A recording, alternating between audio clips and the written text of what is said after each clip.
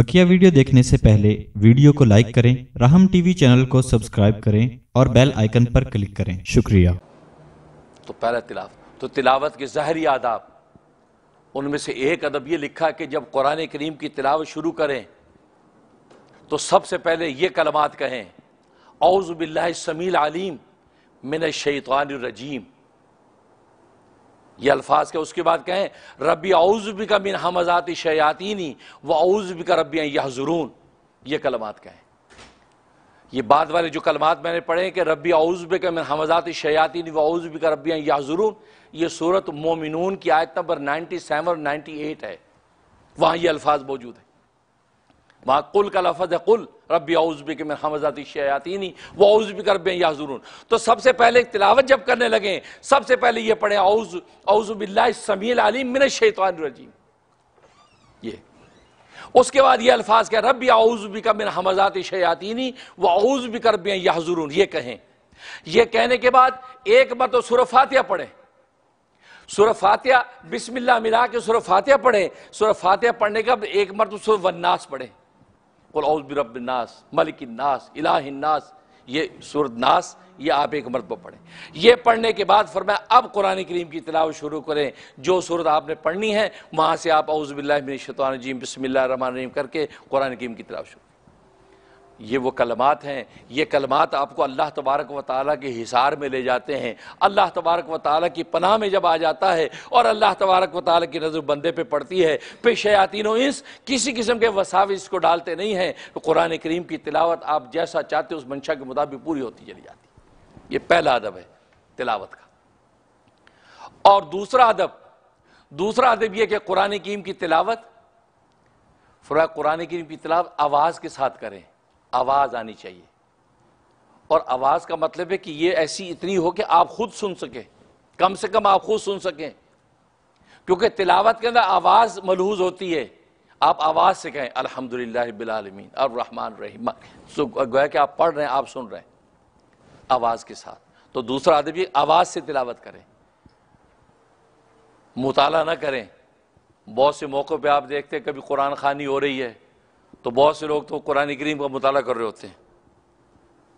अब देखा होगा वो भी होंठ भी नहीं हिल रहे हैं, कुरान जी आप पढ़ नहीं रहे पढ़ रहा हूँ भाई, अंदर अंदर पढ़ रहा हूँ। ये तिलावत नहीं है।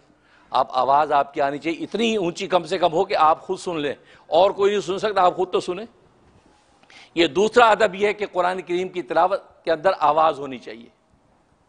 आवाज़ के साथ पढ़ें। एक मरतबा सरकार दोआलम सल्लल्लाहु अलैहि वसल्लम रात तहजद के वक़्त में मस्जिद नबवी के अंदर गए, क्योंकि वहाँ गुलामान मोहम्मद तहजद के अंदर नमाज़ में खड़े हैं, कोई सजदों में है, कोई रुकू में है, कोई तिलावत में है, कोई गिड़गिड़ा रहा है। साहब इकराम तो आप गए तो देखा अबू बकर सिद्दीक रज़ी अल्लाह तु तहजद की नमाज़ में और तिलावत कर रहे हैं। आप बिल्कुल करीब चले गए तो वो बहुत आहिस्ता आहिस्ता तिलावत कर रहे हैं आहिस्ता आहिस्ता उसके बाद आप आगे बढ़े तो हज़रत उमर रज़ी अल्लाह तु खड़े, वो तिलावत, वो ऊँची ऊँची तिलावत कर रहे हैं, बहुत ऊँची ऊँची उसके बाद आप बिलाल हबशी की तरफ़ गए तो बिलाल हबशी तिलावत कर रहे हैं। वो कैसे कर रहे हैं? वो कुरान करीम की डिफरेंट जगहों से सूरतें चुन चुन के पढ़ रहे हैं। एक सूरत पढ़ी, फिर दूसरी पढ़ी, फिर तीसरी इधर उधर से चुन चुन के सूरतें पढ़ रहे हैं। आपने वो सुना। अब जब नमाज़ से फारिग हुए, सुबह जो है फजर के वक्त आपने पूछ लिया अबू बकर रात तुम जब कुरान करीम की तिलावत कर रहे थे ताजुद में, बहुत आहिस्ता पढ़ रहे थे। क्यों? इतनी आहिस्ता क्यों पढ़ रहे थे? क्या फरमाया? फरम असमा तो मन ना जाई थे फरमाया कि अल्लाह के रसूल, मैं जिसको सुना रहा था, वो तो सुन रहा था। वो तो वो तो गया कि, वो कहते ना कि, काली रात के अंदर काली चींटी पत्थर के ऊपर चले तो उसके पाँव की जो आहट है, वो तो वो भी सुन लेता है। वो भी सुन लेता है। तो ए रब या रसोल्ला मैं असल में उस जिस रात को सुना रहा था, वो सुन रहा था, इसलिए मैं आहिस्ता आहिस्ता पढ़ रहा था। मुझे किसी और को सुनाना मकसूद ही नहीं था। तो अच्छा। उमर, तुम इतना ज़ोर ज़ोर से क्यों पढ़ रहे थे? आपने फरमाया कि मैं असल में सोतों को जगा रहा था।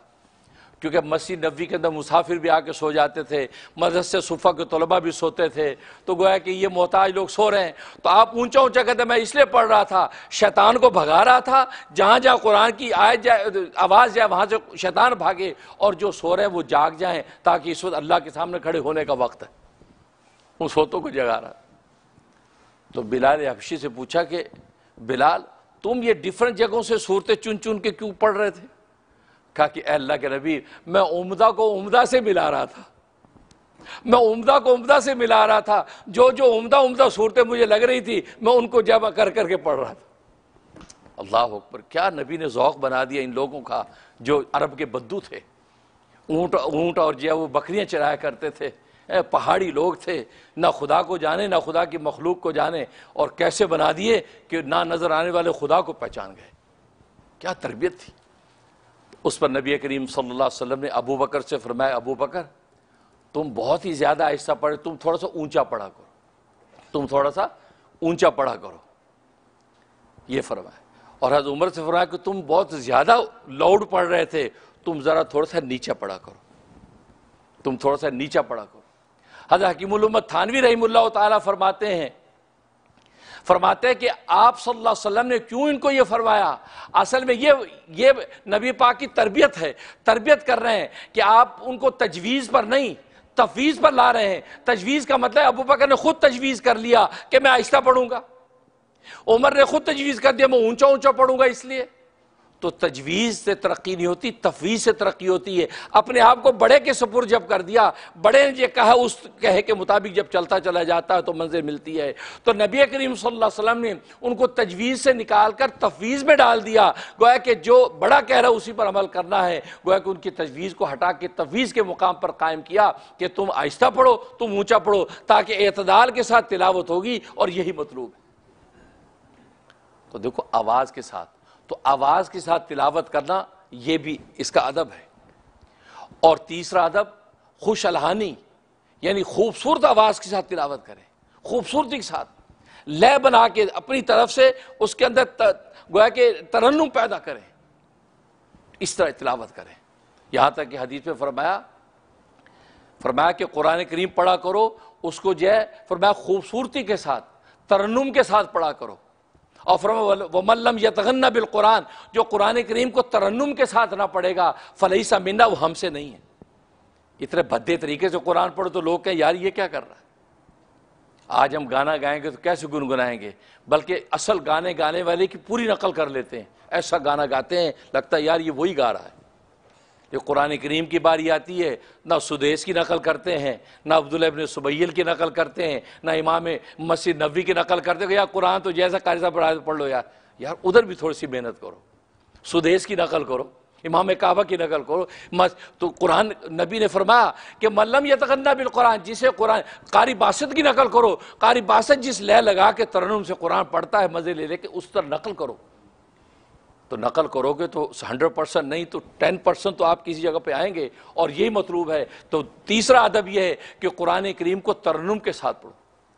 और ये अल्लाह तबारक वाली हदीस में आता है कि जब कुरान करीम को तिलावत करता है और वो तरन्नुम के साथ कुरान पढ़ता है तो अल्लाह तबारक वाली सबसे ज़्यादा उसकी तरफ़ मुतवजह होते हैं और मोहब्बत से देखते हैं।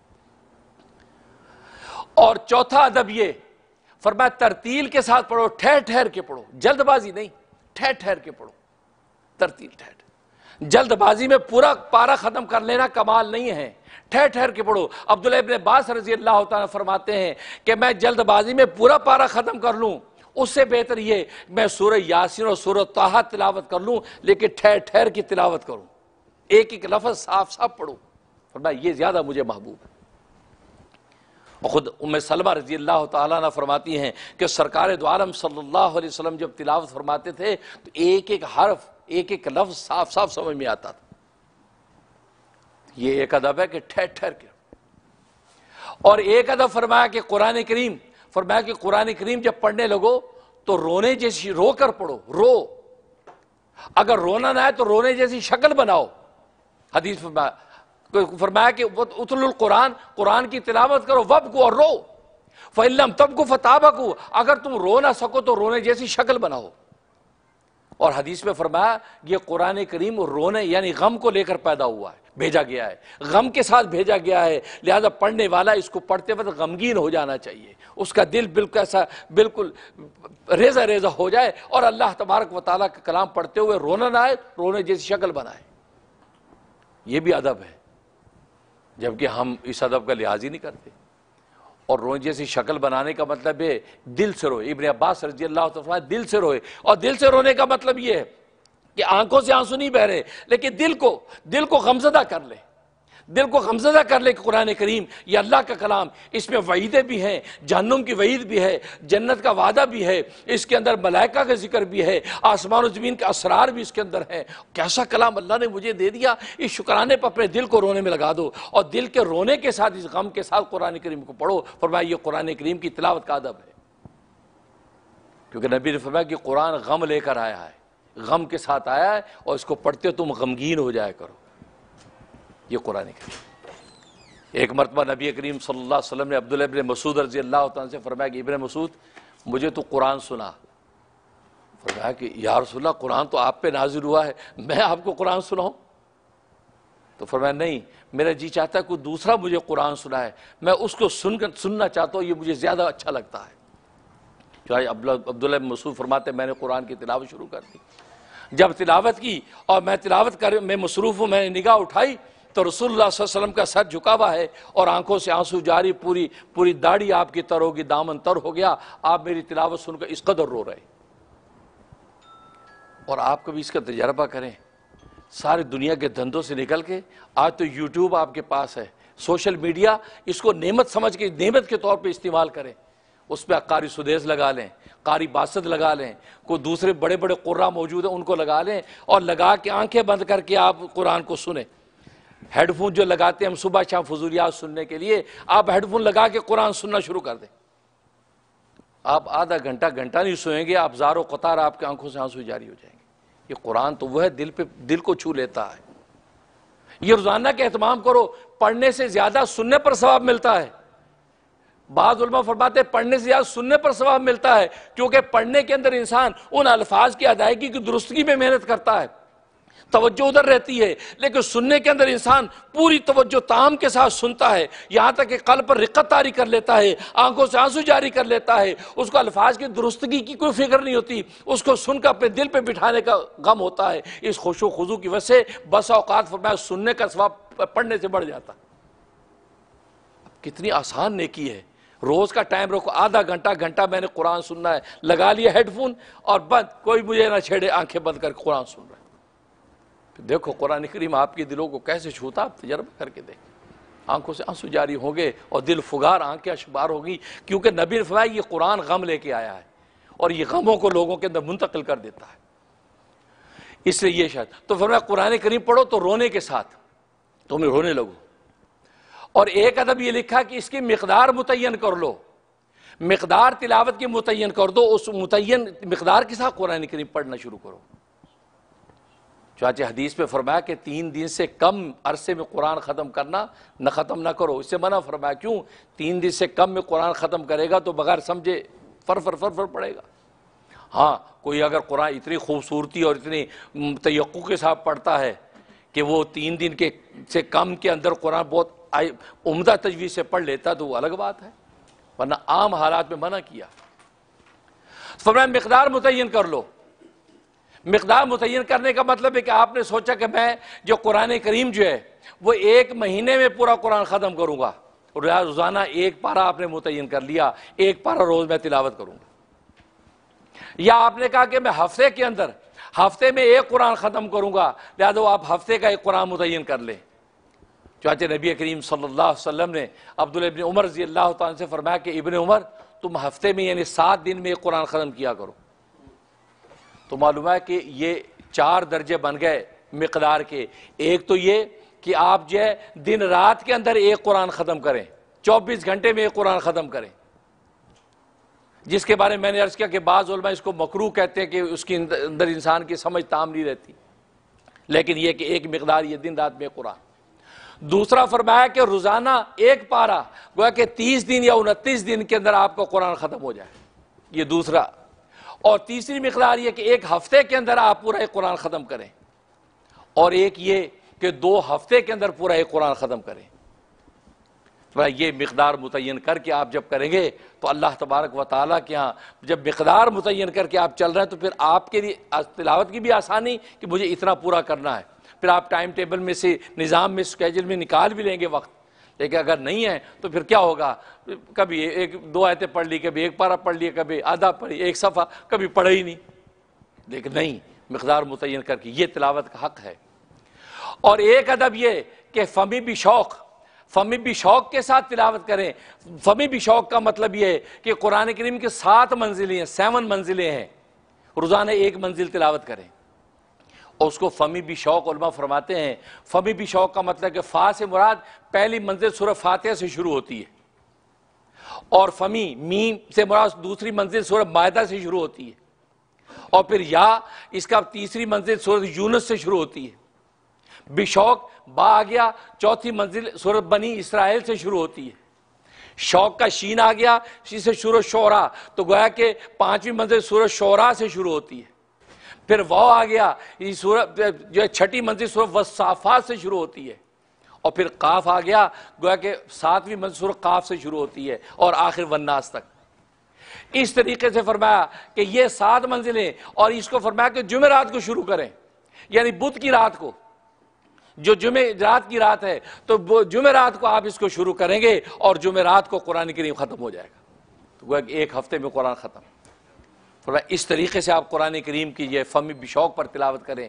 तो गोया कि इस किस्म के आदाब, फिर आगे इसी तरीके से आयत सजदा आ जाए तो आयत आयत तिलावत आ जाए तो फरमाया कि वो आयत तिलावत पर सजदा तिलावत करे। और सजदा तिलावत भी इबन अब्बास रज़ी अल्लाह के हदीस है जल्दबाजी ना करे। आप सजदा तिलावत आ गया, कुरान करीम को आपने रेहल में एक तरफ़ किया, अब आपने सजदा करना है। फरमाया, पहले अपने आप को अल्लाह तबारक व ताल की तरफ़ मुतवजह करे। और अपने कलब को इस्तर और खुश खजू के साथ मुजयन करे और गिड़गिड़ाए और अल्लाह के हैबत और खौफ का अपने ऊपर एक मंजर तारी करे।